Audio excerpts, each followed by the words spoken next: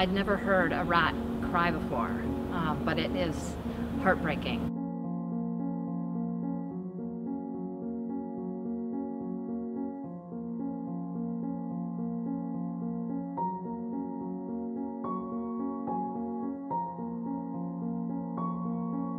I was driving to work this morning and got a call about um, two rats who had been stuck in a glue trap from the night before.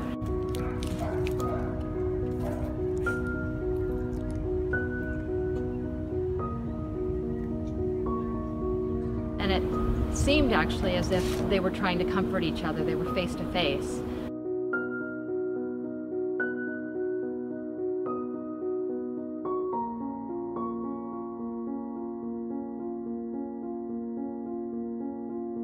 During the drive, one of the rats was crying almost the entire way.